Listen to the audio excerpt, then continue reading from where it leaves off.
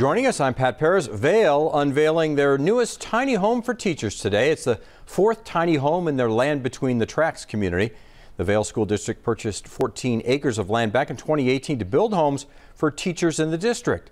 They say they've had a hard time finding and retaining teachers, partly because finding affordable housing is a struggle for new teachers.